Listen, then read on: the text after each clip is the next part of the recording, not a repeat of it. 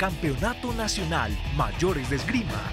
Domingo 9 de noviembre, desde la Unidad Deportiva Palo Grande, a partir de las 4 de la tarde.